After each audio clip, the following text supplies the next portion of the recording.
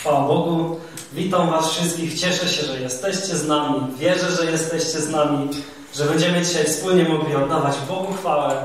Złoczeni jednym duchem, mając jednego króla, jednego pana, e, głowę naszego kościoła. Chwalę i wywyższam Go za to, że możemy być, że możemy razem spotykać się e, w taki sposób, jaki, jaki to robimy, ale mimo mimo wszystko razem uwielbiać, oddawać Mu chwałę i cześć.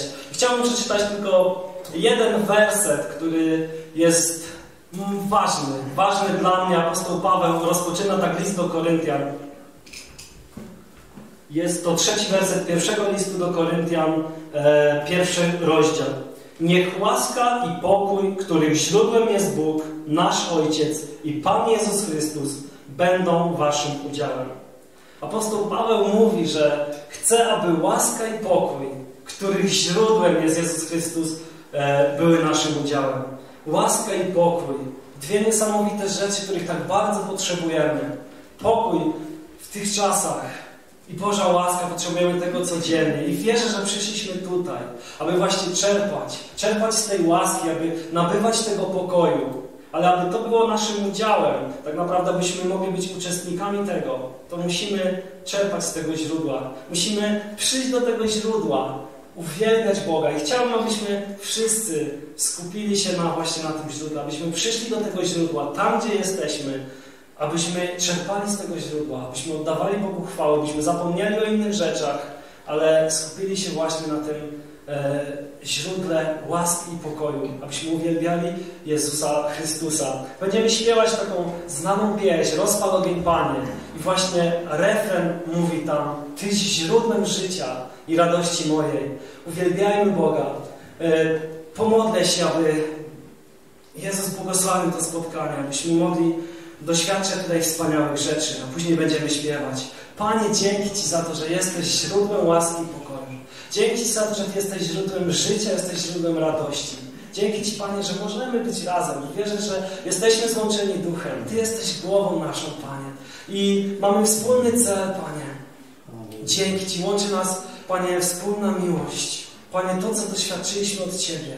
Dzięki Ci za to, że jesteś źródłem i chcemy czerpać z tego źródła. I proszę Cię o każdą jedną osobę, gdziekolwiek jest, abyśmy mogli razem doświadczać Ciebie, abyśmy mogli doświadczać Twojej łaski, Twojego pokoju, Twojej radości, Panie. Niech Duch Twój Święty jest z nami, niech Duch Twój Święty przechadza się, niech Duch Twój Święty zmienia nas. Panie, wypełnia nas. Chwała Tobie. Uwielbiam Ciebie i wywyższam. Amen. Rozpal Panie,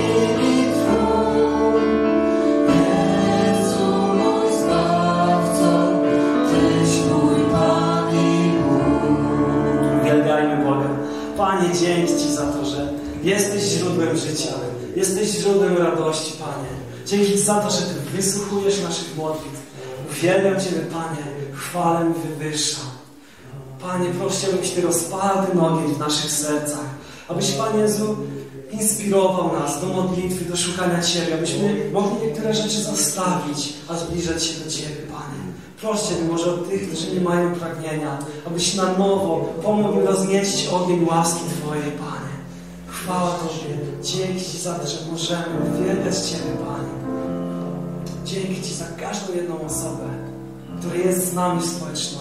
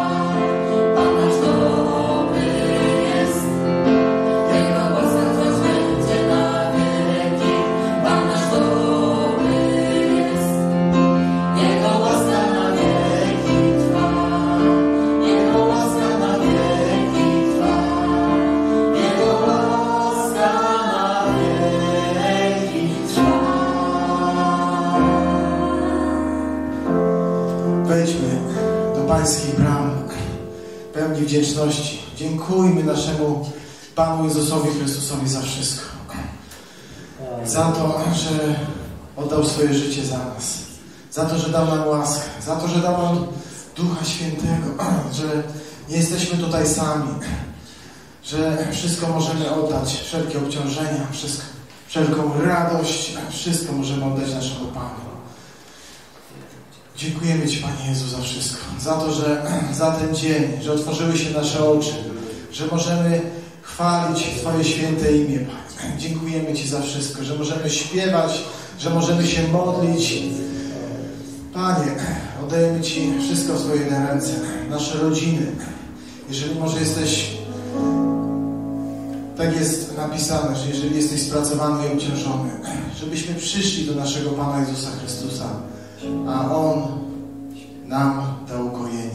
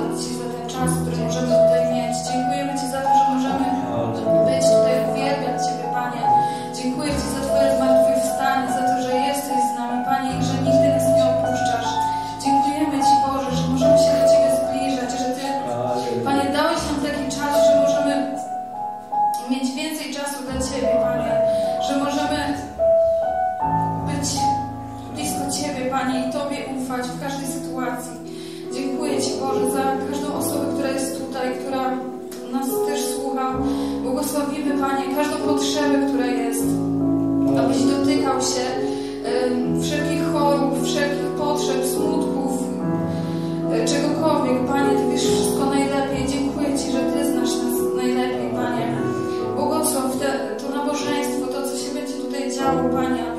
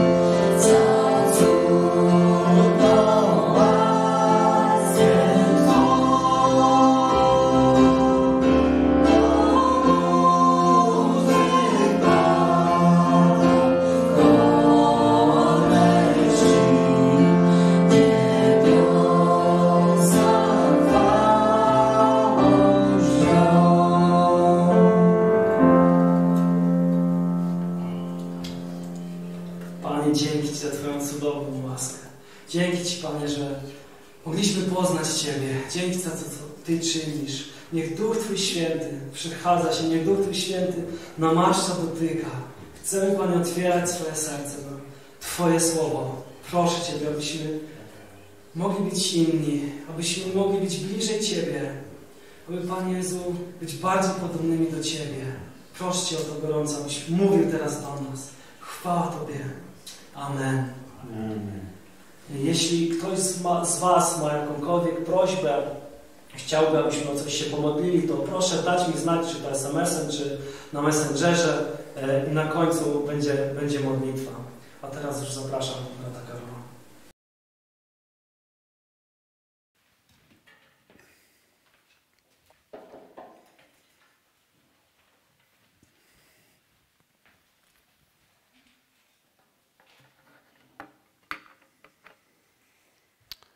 Chwała naszemu Panu Jezusowi Chrystusowi. Witam Was wszystkich i obecnych, i tych, którzy słuchają, oglądają. Cieszę się, że, że możemy się zgromadzać mimo e, takiej sytuacji, e, w której żyjemy. Możemy mieć społeczność z sobą, ponieważ Biblia mówi, że gdzie dwaj albo trzej są zgromadzeni w moim imieniu, tam jestem pośród nich. Wierzę, że jesteśmy zgromadzeni i w domach też, w, nas, w naszych rodzinach.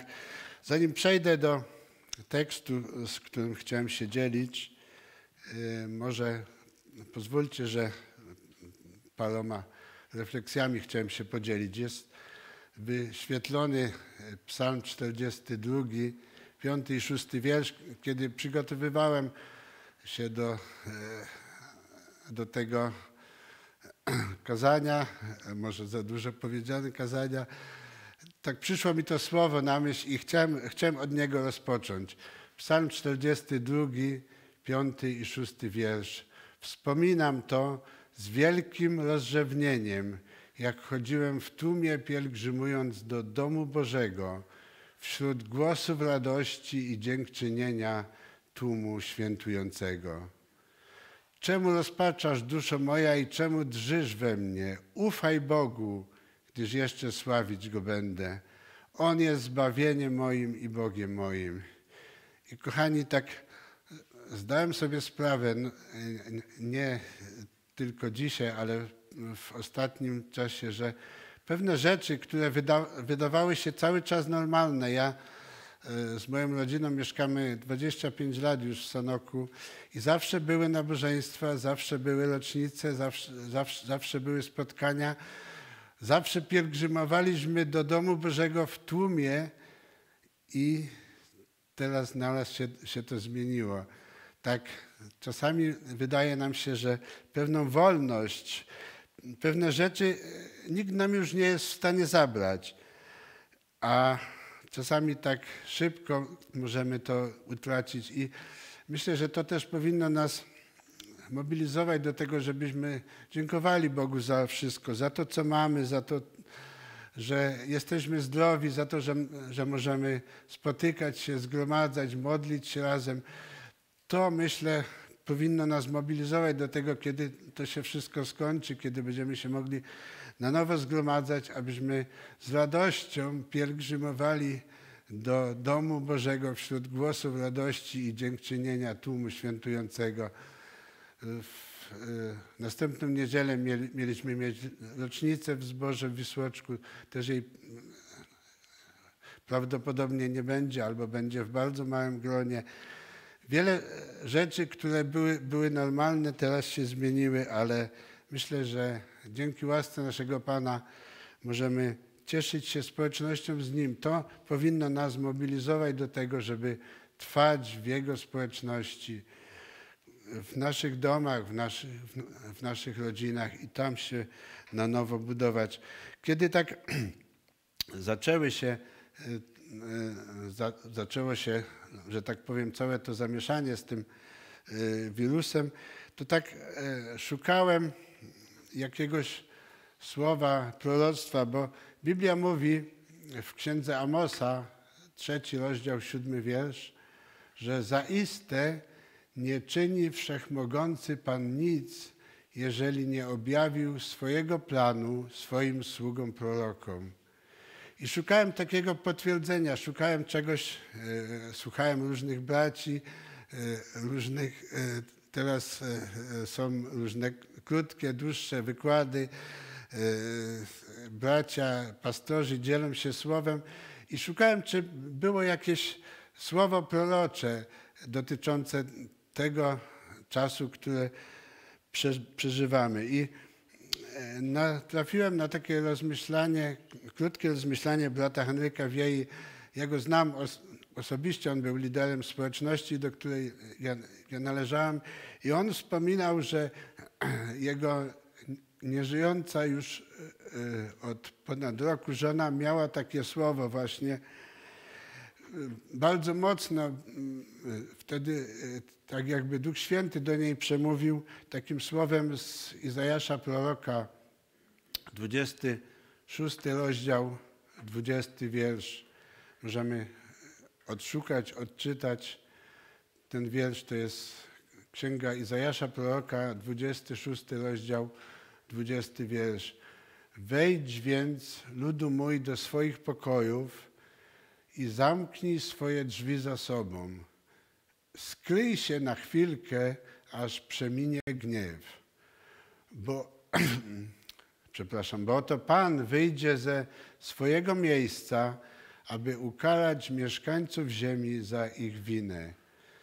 Oni wtedy nie wiedzieli, jakiego czasu się to będzie do- dotyczyć, nie, nie wiedzieli, co ma nadejść, ale mówił, że to słowo było e, rozważane w, tam w gronie braci Kościoła i, i no, było to zanotowane, że prawdopodobnie coś, coś ma, ma nadejść, o czym oni jeszcze nie wiedzieli, o czym nie zdawali sobie sprawy. Nie wiem, czy jeszcze było jakieś inne słowo, proroctwo, ale wierzę, że e, w każdym czasie, jeżeli przychodzą jakieś trudności, problemy, to Pan Bóg posyła swoje słowo, bo tak mówi e, właśnie w tej księdze Amosa, że nie czyni niczego na ziemi, jeżeli tego nie objawi swoim sługom prorokom. I chcemy się modlić, chcemy wielbić Go, dziękować Mu za to, że, że On jest wierny swojemu słowu, że, że też posyła swoje słowo.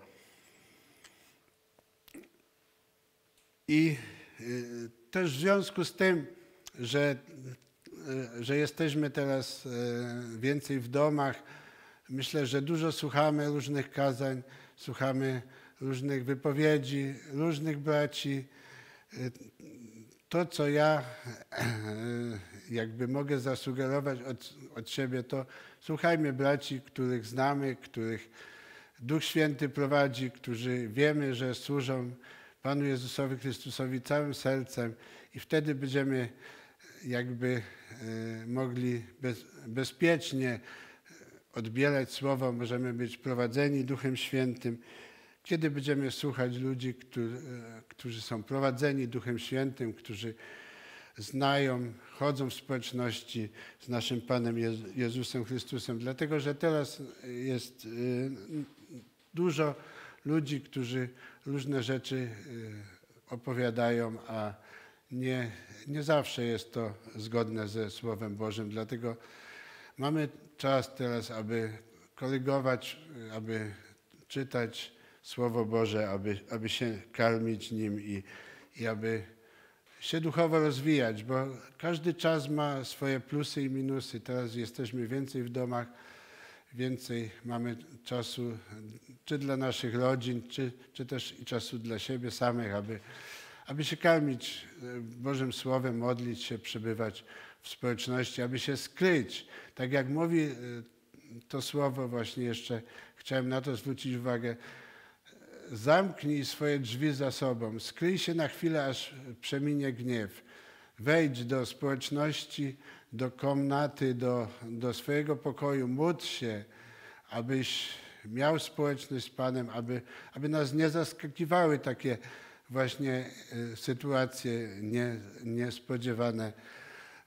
Moja żona kiedyś wspominała, że już jako dziecko jeździła na obozy, jeź- y, jeździła na, y, na tę konferencję młodzieżową na, na Puławach i pewne rzeczy były zawsze. I teraz y, y, musimy się jakby na nowo uczyć żyć w społeczności z naszym Panem, uczyć się y, żyć w tym czasie, jaki mamy. Ale może już przejdę do e, słowa, e, z którym się chciałem, chciałem podzielić. E, jest to e, słowo, o którym wspominał Pan Jezus w Ewangelii Łukasza, czwartym rozdziale, wierszach 25 i 26, kiedy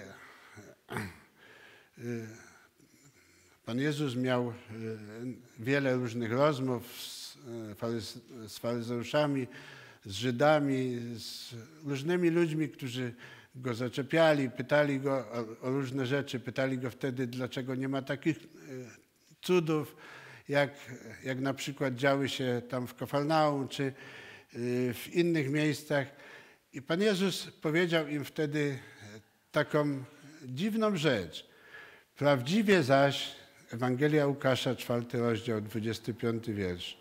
Prawdziwie zaś mówię wam, Wiele było wdów w Izraelu w czasach Eliasza, kiedy niebo było zamknięte przez trzy lata i sześć miesięcy, tak iż był wielki głód na całej ziemi, a do żadnej z nich nie został posłany Eliasz, tylko do wdowy w Salepcie Sydońskiej. I e, wtedy, e, tam dalej e, słowo mówi, że wspomniał również o, o Namanie Syryjczyku i wtedy oni zawrzeli wielkim gniewem, dlatego że oburzyli się bardzo na niego, że zamiast uczynić cuda, zamiast ich, ich pochwalić, powiedzieć im, jak, jacy to oni są wspaniali, to po, powiedział im, że do żadnej z, tej, z, z tych wdów Izraelu nie został posłany prorok Eliasz, jak tylko do wdowy Sarepcie Sydońskiej. I tu, tutaj widzicie, jest taka mapka Izraela i tam na samej górze jest Liban i Sarepta leży, albo ruiny tego miasta leżą na e, terytorium obecnego Libanu, na północy, północ od, od, od Izraela. Tam teraz już są tylko ruiny tego, tego miasta. Jest to, jak e, e, podaje Wikipedia, starożytne miasto fenickie, które, które leży na terenie obecnego Libanu na północy, tam y, z tych, o te wzgórza Golan, tam y, były walki, tam, tam z tych wzgórz Golan y, często rakiety leciały też na Izrael. Około 12 kilometrów od Sydonu na południe i 23 kilometry na północ od Tyru. Teraz już nie ma Tyru, Sydonu jest tylko Syria i tam na górze jest Liban i tam na terenie obecnego Libanu, tam się znajdują ruiny tego miasta Sarepta. I, i Pan Jezus jakby, e, no, zamiast, tak jak wspomniałem, pochwalić ich, no to powiedział im, że właśnie do tej Sarepty Sydońskiej został posłany prorok Eliasz. I może tak krótko chciałem E, scharakteryzować e, ten czas, e, w którym przyszło żyć prorokowi Eliaszowi, w którym panował w Izraelu król Ahab, który był bardzo złym królem, który był, jak mówi Biblia, gorszym niż wszyscy jego poprzednicy i możemy zobaczyć, możemy otworzyć sobie pierwszą Księgę Królewską, 16 rozdział, 30 werset i może parę wersetów poniżej. I tam Biblia mówi tak, że lecz Ahab, syn Omriego, postępował w oczach Pana gorzej niż wszyscy jego poprzednicy. Niczym to jeszcze było, że chodził w grzechach Jeroboama, syna Nebata, Lecz ponadto pojął on za żonę Izabel, córkę El, El Baala, króla Sydonu i służył Baalowi i oddawał mu, mu pokłon. On, Biblia mówi, że postępował gorzej niż wszyscy jego poprzednicy. Jego ojciec e, Omri e, wcale nie, nie postępował dobrze, nie, nie służył Bogu, ale Achab jakby w tym odstępstwie przewyższał wszystkich poprzednich królów Izraela. I czasami właśnie e, przychodzi nam e, też jako ludziom wierzącym żyć w takim kraju czy w takich czasach. Ja pamiętam czasy przed tymi przemianami, które nastąpiły w Polsce, że władza absolutnie nie zachęcała do tego, żeby służyć Bogu, żeby, żeby oddawać Mu cześć, wręcz przeciwnie, często w niedzielę były organizowane jakieś czyny społeczne i różne rzeczy, żeby, żeby tylko odwieźć ludzi od społeczności, od, od y, chodzenia do zborów. czy czy do kościołów. No i tak samo może być w każdym czasie. Nie zawsze władza, nie zawsze królowie, nie zawsze ci, co sprawują władzę, y, zachęcają nas, czy y, pomagają nam w tym, abyśmy służyli Bogu, abyśmy zgromadzali się, ale, ale w każdym takim czasie mamy być czujni i mamy być wierni Bogu. I Biblia mówi tutaj, że niczym to jeszcze było, że chodził w tych grzechach Jeroboama, syna Nebata, ale pojął za żonę Izabel, córkę Elbaala, króla Sydonu i służył Baalowi i od, oddawał mu pokłon. I tutaj taki, y, taka jest moja refleksja, że y, no, kiedy łączymy się jako ludzie wierzący z osobą niewierzącą, to jakby wszystko to, co on czci, to, co on uważa za ważne,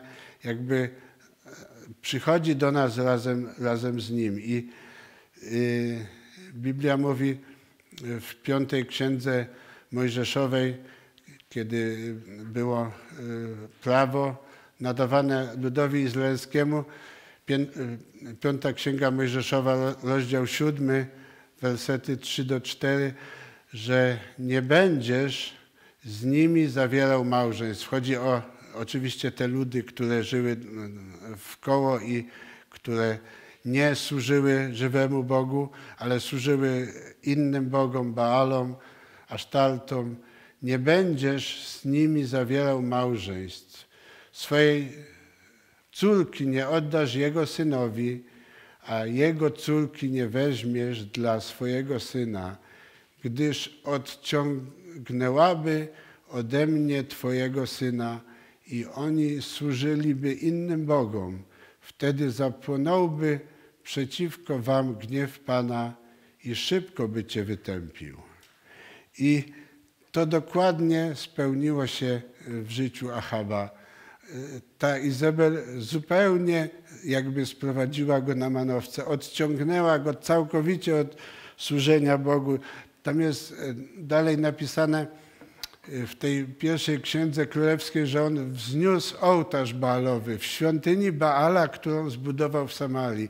Samarię kupił jego ojciec, kupił tam jakąś górę i nazwał ją Samaria i on tam y, zamiast zbudować jakiś ołtarz, zamiast być wdzięczny Bogu za to wszystko, co miał, to y, y, mało, że wznosił ołtarze Baalowi, jeszcze zbudował świątynię Baala tam w tej Samarii, którą jego, jego ojciec nabył.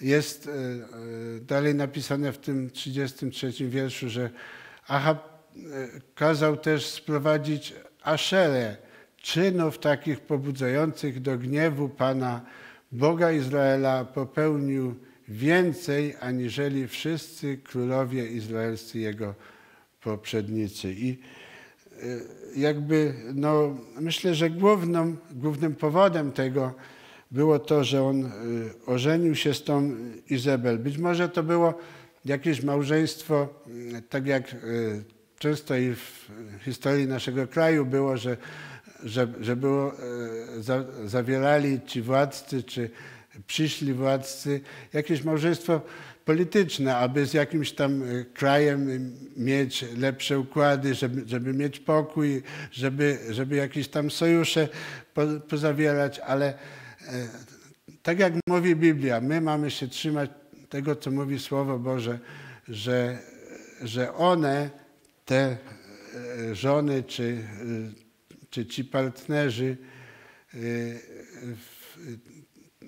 tak jak jest napisane w tej piątej księdze Mojżeszowej, że gdyż odciągnęłaby ode mnie Twojego syna i oni służyliby innym Bogom, i wtedy zapłonąłby przeciwko Wam gniew Pana i szybko by Cię wytępił.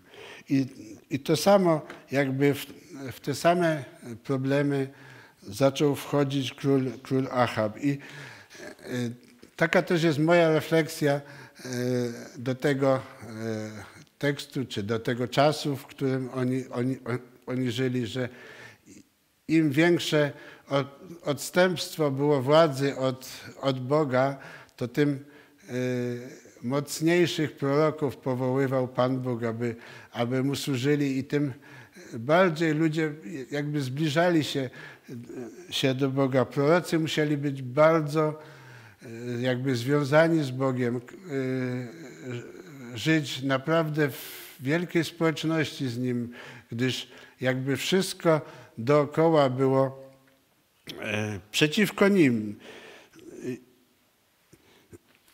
No i jak już wspomniałem, y, y, kiedy wybieramy męża lub żonę, którzy, którzy nie służą Jezusowi Chrystusowi, to tak samo jakby wchodzi w nasze życie to wszystko, w co, w co oni wierzą, co oni wy, wyznają, czy, czy co, co prezentują, po prostu czemu służą.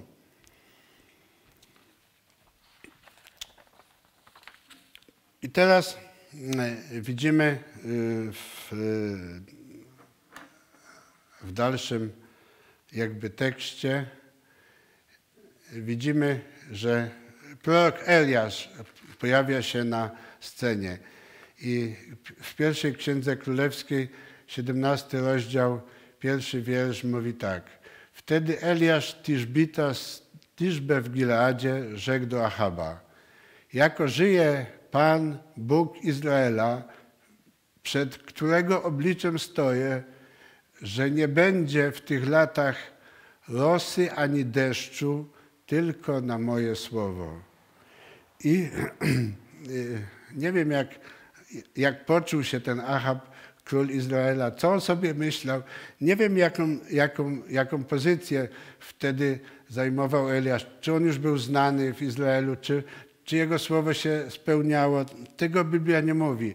Ale w tym momencie myślę, że przed Achabem ugięły się nogi, dlatego że Eliasz zapowiedział mu, że przez trzy i pół roku nie będzie ani rosy, ani deszczu, że będzie po prostu klęska. I, I myślę, że żaden król, żaden władca nie chciałby usłyszeć takiego słowa, choćby nawet nie wierzył, choćby nawet miał e, pobudowane setki ołtarzy dla różnych bogów, to na pewno włosy zjeżyły mu się na głowie i nogi mu się ugięły. I, i czytamy dalej, ja może pominę ten króciutki y, fragment, że Pan Bóg powiedział wtedy do Eliasza, odejdź stamtąd, udaj się na wschód i ukryj się nad potokiem Kelit i z potoku będziesz piła, krukom nakazałem, żeby cię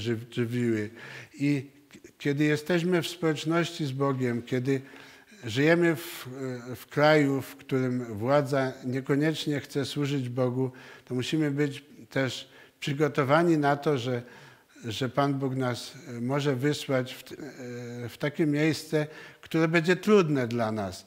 Bo no, wymagało to wiel, wielkiej wiary i wielkiego zaufania do Boga, że, że będziesz pił wodę z potoka, to jest proste, ale że będą kruki nadlatywać i, i ci przynosić chleb i przynosić ci mięso, to już nie było takie całkiem pewne i, i wymagało to naprawdę wielkiej społeczności z Bogiem i wielkiego zaufania do Boga, że tak będzie. Nie czytamy, jak długo on tam przebywał nad tym potokiem Kelit, ale jest napisane, że lecz po pewnym czasie wysechł potok, gdyż nie było deszczu w tym kraju. I y, teraz już przejdę do tego tekstu, który jakby jest y, głównym tym, na, na którym chciałem się skupić. To jest pierwsza Księga Królewska, rozdział 17 i wiersz 8. I na razie może te trzy wiersze. I wtedy doszło go takie słowo: Wyjdź i idź do Sarepty, która należy do Sydonu i zamieszkaj tam. Oto nakazałem pewnej tamtejszej wdowie, aby cię żywiła. Wstał więc i poszedł do Sarepty, a gdy wchodził do bramy miasta, oto pewna wdowa zbierała tam drwa. Odezwał się więc do niej tymi słowy: Przynieś mi nieco wody w naczyniu, abym się napił. I to jest również e, taki moment, który wymagał od Eliasza wielkiego zaufania do Boga, dlatego że Sarepta leżała na terenie Sydonu, a Izabel była córką króla Sydonu. I Pan Bóg czasami czyni niesamowite rzeczy. Y, Jak później dojdziemy, jest napisane, że wszędzie król Ahab szukał Eliasza po wszystkich królestwach dookoła, a nie przyszło mu do głowy, że Pan Bóg go umieścił w mieście, które nale, jakby należało do władania jego teścia. Sarepta należała do Sydonu, czyli do e, miejsca, którym jakby władał teść tego Ahaba.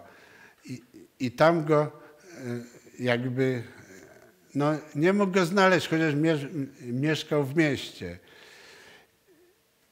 I, I poszedł tam. Y, Jest napisane, że e, jakby Eliasz nie dyskutował z Bogiem, nie pytał się, jak to będzie, czy ja se, se dam radę, jak ja ją mogę tam znaleźć, przecież przy, przyjdę do, do miasta i co? No skąd, skąd w takim mieście, nie, nie wiemy, nie czytamy, jakie to było duże miasto, skąd ja mam rozpoznać wdowę, która ma mnie żywić, w któ- którejś Ty Boże nakazał, żeby, żeby mnie ży, żywiła. No jak, jak to będzie? Ale widzimy, że, e, że Eliasz nie dyskutował z Bogiem, tylko wstał więc, poszedł do Sarepty, a gdy wchodził do bramy miasta, oto pewna wdowa zbierała tam drwa. Też to jest takie może mm, trochę dziwne na pierwszy rzut oka, dlatego że drwa no, przeważnie się zbiera w lesie, czy gdzieś tam mm, w jakichś miejscach, gdzie rosną drzewa. Natomiast w, bramie miasta no, niekoniecznie y, tego drwa można nazbierać, ale być może tam było. Ale to dowodzi tego, że kiedy ufamy Bogu i nie pytamy, nie dyskutujemy, nie, nie, jakby nie oczekujemy, że Pan Bóg nam cały plan na, narysuje, jak, jak, jak to będzie. Nie, nie, nie przyśniło mu się, jak ta wdowa będzie wyglądać, ale on poszedł i ją spotkał. I przypomina mi się taka sytuacja z mojego życia, to już było e, dosyć dawno temu. E, Pojechałem do Niemiec i, i tam akurat tak się złożyło, że e, e, wujek tam e, kupił okazyjnie samochód no, w takiej cenie, na którą mnie było stać i ja wracałem tym samochodem. Nigdy nie byłem wcześniej w Niemczech. Nie było żadnych telefonów, wtedy nawigacji, to było 90 lata. Miałem tylko mapę i nic więcej. I miałem jeszcze zabrać z, miasta, które było gdzieś 300 kilometrów dalej, y, pewnego mojego przyjaciela. I tylko miałem telefon y, do, y, do tego miejsca, gdzie on, gdzie on przebywał, no i mapę. I, I tam ta kobieta, bo on był u swojej narzeczonej wtedy tam, tam ta kobieta mi mnie, mniej więcej nakreśliła, jak, jak tam wjedziesz do tego miasta, to tam będzie któreś tam skrzyżowanie, skręcisz prawo, potem pojedziesz jeszcze kawałek drogą, tam będzie duży parking, tam staniesz i, i tam najwyżej y, zadzwonisz, jakbyśmy się nie znaleźli. No i przyjechałem tam, jeszcze tam się y, trochę martwiła y, o mnie moja kuzynka wtedy. Mówi, jak ty w takim dużym mieście, nigdy nie byłeś w Niemczech, jak ty w, w takim dużym mieście znajdziesz kobietę, która tam gdzieś mieszka. Miałem adres, miałem telefon, to nie, ale, ale nic więcej. No i modliłem się, przyjechałem tam do tego miasta, umówiliśmy się około gdzieś tam 13, czy mniej więcej w południe. Gdzieś o takiej porze tam byłem, zajechałem na ten parking, był bardzo duży parking, tam y, była toaleta, umyłem ręce i szukałem, y, gdzie te autobusy, skąd, y, nawet tam się chyba kogoś zapytałem, Przyszedłem na, ten, na, ten, na to miejsce, gdzie te autobusy miejskie, bo ona miała jakimś tam miejskim autobusem przyjechać. Przyjeżdża autobus, ona wysiada z tego autobusu. Bez żadnej komórki, bez, bez, bez niczego. Po prostu chyba jako młodzi ludzie, kiedy nie mieliśmy tej techniki, która jest dzisiaj dostępna, mieliśmy chyba większe zaufanie do Boga. I tak samo jest, myślę, z Eliaszem. On nie, nie pytał się, nie, nie dyskutował, nie, nie domagał się szczegółów, ale poszedł do tego miasta i do tej kobiety, którą spotkał, mówi: Przynieś mi nieco wody w naczyniu, abym się, się napił. No może to nie było wcale nic takiego dziwnego, że podróżny, który tam gdzieś skądś przyszedł, prosi o wodę, ale dalej mówi do niej jedenasty wiersz. A gdy ona szła, aby nabrać, zawołał jeszcze na nią: Przynieś mi też proszę kawałek chleba. Lecz ona odpowiedziała: Jako żyje Pan, Bóg Twój, że nie mam nic upieczonego, a tylko garść mąki w dzbanie i odrobinę oliwy w bańce. Oto właśnie zbieram trochę drwa, potem pójdę i przyrządzę to dla siebie i dla mojego syna, a gdy to zjemy, to chyba umrzemy. I, i tu takie e, dwie rzeczy mi się nasunęły. E, myślę, że Eliasz wiedział, jaka jest sytuacja. Wiedział, że jest głód, dlatego że głód był nie tylko w Izraelu, ale był na całym tym terenie, gdzie ludzie żyli, ponieważ nie było deszczu. I wiedział, że ta e, wdowa, e, ta kobieta nie ma e, niczego zbytnio, czym mogłaby go, by go ugościć. A jednak powiedział jej, przynieś mi też proszę kawałek chleba. I czasami Pan Bóg jakby wymaga od nas, y, chociaż jesteśmy w trudnej sytuacji, aby dać Mu to, co mamy. To małe, tak jak ten chłopiec, y, który dał te pięć chlebów i dwie ryby i Pan Jezus to pobłogosławił i został nakarmiony wielki tłum, aby dać Mu to, co mamy. To jest jakby też pewnego rodzaju krok wiary, e, który uczyniła ta kobieta. I ona mu odpowiedziała, że jako żyje Pan Bóg Twój. Ona roz, rozeznała, poznała, że to jest nie tylko Żyd, ale że to jest człowiek, który żyje, żyje z Bogiem. Nie wiem, czy Eliasz był znany już szeroko poza granicami. Nie, nie wiemy, bo Biblia nie mówi tego, ale on, on, ona rozpoznała w nim męża Bożego, człowieka, który żyje z Bogiem i ona nie zawahała się, żeby dać mu, e, jak dalej czytamy, właśnie upiec dla niego ten e, jakiś tam jeden, jeden placek. Chociaż z początku mówi, że właśnie zbieram trochę drwa, potem pójdę, przyrządzę to dla siebie i dla mojego syna, a gdy to zjemy, to chyba umrzemy. I dalej e,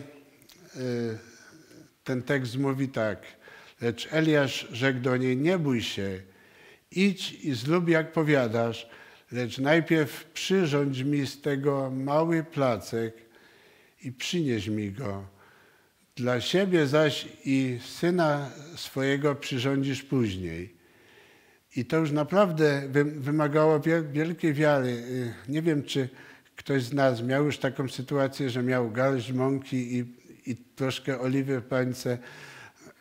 abyśmy się z taką sytuacją nie, e, nie musieli nigdy zmierzyć, ale żeby jeszcze dla gościa z tego przyrządzić placek, to już naprawdę była wielka wiara i, i wielkie zaufanie, że, że, że on naprawdę wie, co mówi, że on chodzi w społeczności z Bogiem i wie, e, co mówi.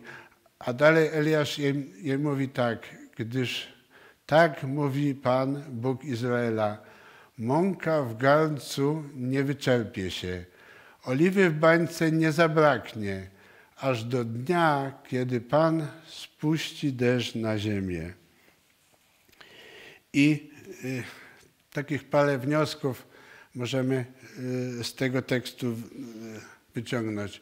Po pierwsze, y, dla samego Eliasza też to było jakby wielkie wyzwanie, dlatego że dalej ten tekst mówi o tym, że ona miała jeszcze dziecko. Ja dawniej, kiedy jakby czytałem to słowo, czy znałem go już dawno, myślałem, że to była wdowa, już powiedzmy w podeszłym wieku, może koło siedemdziesiątki, a Eliasz miał u niej mieszkać. A okazuje się, że później Biblia mówi, że jej syn zachorował i on go nawet e, zniósł tam, czy wyniósł do, do tego pokoju na piętrze. Czyli musiała to być kobieta, e, powiedzmy, w średnim wieku i Eliasz miał u niej mieszkać. To, to było miasto, na pewno nie, nie, nie było to takie miasto, jak, jak my teraz roz, rozumiemy.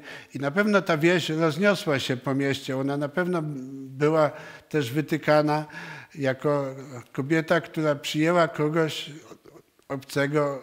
Żydzi raczej wyróżniali się również i pewnym ubiorem, zachowaniem. I na pewno wiadomo było, że, że to jest człowiek, który przyszedł z terenu Izraela i ona też z tym musiała się zmierzyć. Musiał się zmierzyć z tym sam, sam Eliasz. Pan Bóg mógł mu powiedzieć, słuchaj, ja poślę tam kogoś, on przyjedzie po ciebie jakąś karetą, zawiezie cię nad jakieś jezioro, będziesz sobie tam leżał na plaży i, i poczekasz, aż, aż przyjdzie słowo. Ale od niego samego też to wymagało zaufania. Najpierw poszedł nad potok i miały go tam karmić kruki, a potem poszedł do obcego kraju, którym zażądał teść, zarządzał teść e, króla, który był e, odstępcą i tam miał się ukryć. E, no to już było jakby szczytem zaufania do Boga, dlatego że no wszędzie można było się ukryć, ale, ale nie w Sydonie, którym zarządzał ojciec Izabel. I, I Pan Bóg czasami właśnie stawia nas w takich różnych sytuacjach, ale żeby nie przedłużać, jakie wnioski możemy z tego tekstu dla siebie wyciągnąć, bo to jest najważniejsze, żebyśmy wyciągnęli wnioski, nie tylko żebyśmy podziwiali, jaki to wspaniały mąż wiary był prorok Eliasz i jak Pan Bóg wypełniał słowo w jego życiu, że wszystko się sprawdzało i nawet królowie drżeli przed, przed tym, kiedy on powiedział, że przed 3,5 roku nie będzie deszczu, ale abyśmy umieli dla siebie też wyciągnąć wnioski. I pierwszym wnioskiem takim, którym no, możemy z tej sytuacji czy z tego tekstu omawianego wyciągnąć, że choćby nawet wydawało ci się, że twoja sytuacja jest bez wyjścia, to kiedy zaufasz Bogu, kiedy zaufasz Jezusowi, to On zawsze przyjdzie ci z pomocą. On się nigdy nie spóźni, tak jak Eliasz przyszedł wtedy, kiedy ona zbierała te dwa na ten ostatni posiłek. Wydawało się, że to jest już ostatni posiłek w jej życiu, a, a przy, przyszedł Eliasz i powiedział, jak, jak przyrządzisz dla mnie ten placek, to, to tej mąki nigdy nie, nie, nie zabraknie ani tej oliwy w bańce. I tak samo kiedy zaufamy Jezusowi, to On zawsze przyjdzie nam z pomocą wtedy, kiedy tego potrzebujemy i kiedy będziemy do Niego wołać. I czasami też Jezus chce, abyśmy, czy abyś ja i Ty, abyśmy dali Mu to mało. Tak jak ta niewiasta jakby upiekła ten pierwszy placek dla proroka Eliasza, tak, tak czasami Pan Bóg chce, abyśmy e, od, oddali Mu to mało, to co posiadamy, a wtedy On to pobłogosławi i sprawi, że będzie z tego obfitość. Tam dalej czytamy, ja już tego nie, nie wyświetlałem na slajdach, że, że kalmiła się z tego nawet jej rodzina, że, że kalmił się Eliasz, kalmił się, kalmiła się ta wdowa, kalmił się ten syn, ale również kalmiła się z tego rodzina. Nie wiemy jak, jak duża, ale, ale starczyło dla, dla wszystkich, dla wszystkich, którzy jakby ufali Bogu, że On ma wszystko w kontroli. I y, też z tego właśnie tekstu, co już wspomniałem, możemy y, też i taki wniosek wyciągnąć, że kiedy chodzisz w społeczności z Bogiem, to ludzie to y, zauważą. Ta kobieta zauważyła, że on służy Bogu, mówi, że jako żyje Pan Twój Bóg w tym, w tym wierszu dwunastym. Odpowiedziała, jako żyje Pan Twój Bóg, że nie mam nic upieczonego, a tylko garść mąki w dzbanie i odrobinę oliwy w bańce. On nie przyszedł i nie dał jej jakby wizytówki, ja jestem prorok, tu z Izraela przyszedłem, ale ona, ona poznała po jego zachowaniu, wierzę, że, że Duch Święty też otworzył jej oczy, że to jest człowiek, który e, służy Bogu, który żyje w jego społeczności i, i właśnie to zauważyłem też, że kiedy chodzimy w społeczności z Bogiem, to, to, to ludzie to zauważą. Jest to też zapowiedź tego, Pan Jezus jakby wtedy e, zapowiedział to Żydom, że zbawienie, łaska również przyjdą do pogan, że będzie taki czas, kiedy oni będą mogli czerpać z tej oliwy i, i z tej mąki. Bo to jest ob, obrazowe, że oliwa symbolizuje Ducha Świętego, a mąka, czyli ziarno, symbolizuje Słowo Boże. I oni będą, jako poganie, też będą mogli czerpać, będą mogli jeść z tej mąki i, i z, tej, z tej oliwy czerpać. I wtedy, jak, czyta, jak już wspomniałem, jak czytamy w tej, w tej Ewangelii Łukasza, Żydzi bardzo się oburzyli na to, ale to się spełniło, dlatego że, że Ewangelia jest głoszona po całej ziemi.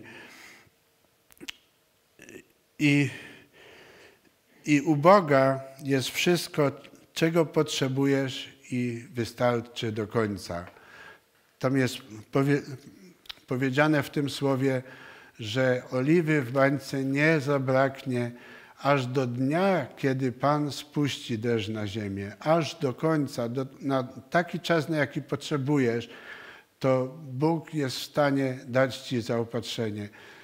W, w taki normalny sposób, czy sposób nadzwyczajny, On Cię jest w stanie zaopatrzyć, dać Ci i ten duchowy pokarm, i ten ziemski pokarm. Dać Ci tą mąkę i dać Ci tą, tą oliwę.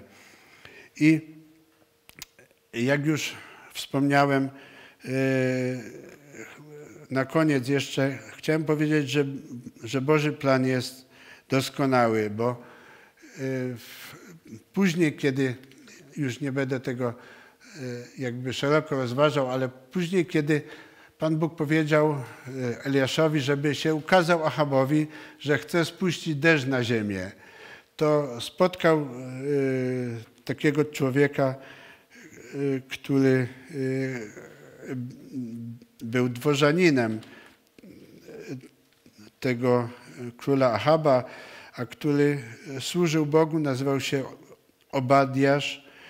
I ten człowiek powiedział Eliaszowi tak, jako żyje Pan, to jest pierwsza Księga Królewska, rozdział 18, 10 wiersz. Jako żyje Pan, Twój Bóg, że nie ma narodu ani królestwa, do którego by nie posłał mój Pan, aby Cię tam szukano. A gdy mówiono, nie ma Go tu, to odbierał przysięgę od królestw i od narodów, że Cię nie znaleziono.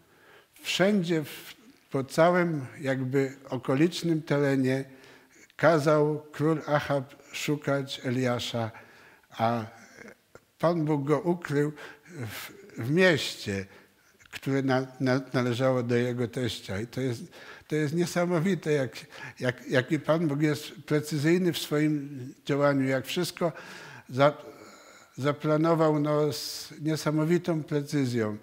Wszędzie go szukano i nawet odbierał przysięgę od królestw i od narodów, że, go nie znaleziono. Tak bardzo jakby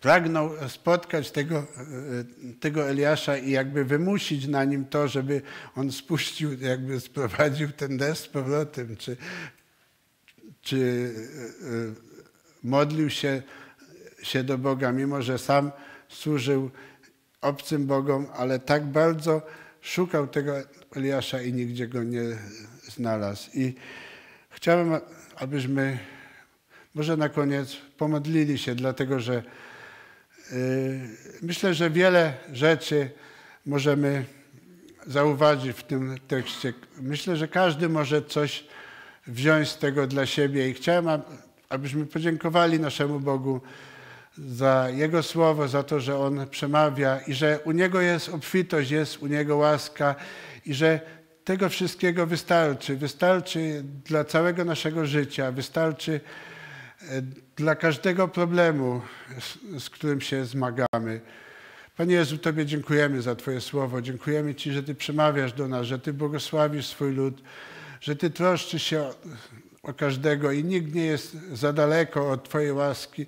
Każdemu jesteś w stanie pomóc, jeżeli przyjdzie i zawoła do Ciebie, jeżeli skłoni swoje kolana, aby oddać Tobie chwałę, aby, aby poprosić, abyś zmienił jego życie, jego sytuację. Błogosławimy Twoje imię. Dziękujemy Ci za Twoje słowo.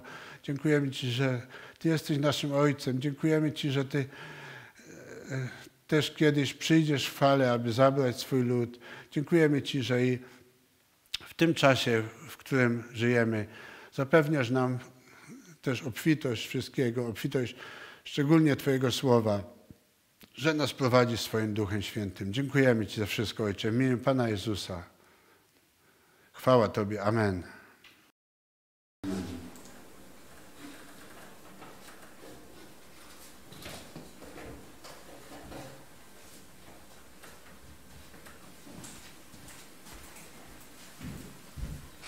Chwała Bogu, dziękujemy za słowo. Wierzę, że nasza wiara jest wzmocniona, większa. E, Dostałem mnóstwo próśb e, o modlitwę, ale niesamowite jest to, że pierwszą informację, jaką dostałem, to dziękczynienie. Jakiś czas temu e, modliliśmy się o siostrę Gosię z Gorlic, która prosiła o, tam się o jej nogę, miała jakieś problemy. Już następnego dnia wszystko było dobrze, została uzdrawiona, więc bardzo dziękuję za modlitwę i, i oddaję chwałę Bogu. E, więc jesteśmy Bogu wdzięczni za to, że Bóg wysłuchuje modlitw. A kolejne dwie prośby właśnie dotyczą podobnych problemów. E, brat Karol prosi o Dominikę. E, ma złamaną nogę, jutro będzie miała e, operacyjne składanie, więc prosi, abyśmy się o nią modlili. E, Siostra Gosia prosi o swoją sąsiadkę, panią Ale. Ona również ma złamane nogi w kostce, e, ma ciężką sytuację. E, Prosi siostra Gosia, abyśmy się modlili i powierzali ją Bogu. E, Siostra Lidia w dalszym ciągu prosi, aby- abyśmy modlili się o jej koleżankę Natalię, która ma podejrzenie choroby nowotworowej. Módlmy się o nią, aby Bóg też ją pocieszał, wspierał w tej trudnej sytuacji. I siostra Ula również w dalszym ciągu prosi, abyśmy modlili się o jej tatę, aby też Bóg go wzmacniał, posilał, e, przeprowadzał e, w jego stanie zdrowia, też wzmacniał jego wiarę i w dalszym y, ciągu abyśmy modlili się, bo dalej ma problemy z kolanem. Także módlmy się o te, o te prośby.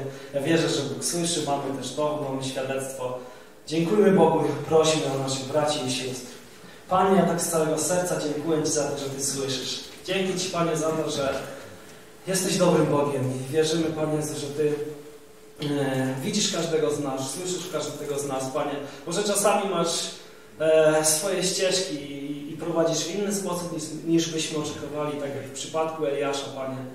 Ale dzięki Ci, że jesteś ponad wszystkim. Dlatego z całego serca dziękuję Ci, że siostra Gosia już się czuje dobrze, Panie, że wszystko w porządku z jej nogą. Błogosławię ją, Panie, w Twoim imieniu. I proszę Cię gorąco, to abyś Ty był z Dominiką, Panie. Proszę Cię, aby jutrzejsza operacja przebiegła pomyślnie, abyś Ty czuwał nad tym wszystkim, posilał ją, wzmacniał fizycznie, Panie, duchowo, błogosławił jej rodzinę. Proszę Cię, Panie, z całego serca, e, Panią Ale, abyś ją posilał, wzmacniał, Panie, by mogła doświadczać to, że Ty żyjesz, że Ty jesteś Bogiem. Proszę Cię o jej sytuację, o jej stan zdrowia. Boże, Ty możesz dokonywać cudów, wierzymy w to, dlatego z całego serca ją powierzam w Twoje ręce. Proszę Ciebie, Panie, o Natalię, abyś i ją przeprowadzał, Panie, aby, abyś Ty był z nią, proszę Ciebie o, o abyś posilał ją duchowo, fizycznie, Panie, aby może wyniki, czy, czy ten wyrok, na który czeka, aby było wszystko dobrze, Panie. Wierzę, że Ty możesz ją przeprowadzić. Proszę Cię o siostrę Lidię, aby mogła być wsparciem dla niej, Panie. Proszę Cię o to gorąco. I proszę Cię z całego serca o tatę Uli, abyś, Panie, Jego prowadził, wzmacniał Jego wiarę i ulżał Jego cierpieniu, Panie, abyś sprawił, że nie będzie miał problemów z kolanem, Panie. Błogosław wszystkich tych, Panie Jezu, którzy prosili, abyśmy się modlili. Proszę Ciebie też o tych, którzy może nie pisali, a mają różne problemy. Panie, jest wiele rzeczy, o które modlimy się, wiele rzeczy, które, o wiele osób, które mają różne problemy. Ty widzisz, dlatego ja o to Ciebie proszę. Jestem Tobie wdzięczny za dzisiejsze nabożeństwo. Proszę Cię, byś każdego błogosławił w nadchodzącym tygodniu, byś był z każdym, aby każdy mógł doświadczać Twojej obecności, abyś Ty był z każdym z nas. Chwała Tobie, Panie, za wszystko. Amen. Amen. I na koniec jeszcze kilka ogłoszeń. E, Standardowo nasze nabożeństwa w czwartki 18.30 i w niedzielę o 10.00. E, Z tym, że warto śledzić stronę, bo jeśli tylko coś by się zmieniło, że można się spotkać na żywo, to na pewno nie będziemy z tym zwlekać. E, Natomiast we wtorek chcemy zrobić po raz kolejny grupkę, społeczność na, na Zoomie. E, Ostatnio było bardzo fajnie. e, Fajnie było widzieć e, Was, za którymi tak bardzo tęsknimy. Tylko tak możemy się spotkać, poopowiadać, co u nas słyszeć. Jedni drugich mogliśmy budować. Nie bójcie się, że technologia jest za trudna. Nie, jest, nie ma z tym dużo problemów, a jeśli tak, to, to chętnie pomożemy. Proście, proście o pomoc, dzwońcie, piszcie. Na pewno każdy z nas pomoże, abyście mogli dołączyć. A w ten wtorek chcemy zrobić również na tej grupce wieczerze. Będzie to taka nasza społeczność, gdzie każdy będzie mógł e, rozmawiać, pomodlić się, więc chcemy właśnie w ten wtorek zrobić na tej grupce wieczerze, więc przygotujcie sobie to, co jest potrzebne. E, Grupka będzie we wtorek o godzinie 19.30 i wszystkie informacje, linki i tak dalej będą na stronie internetowej. Na tym nasze nabożeństwo jest zakończone. Niech was, was Bóg błogosławi.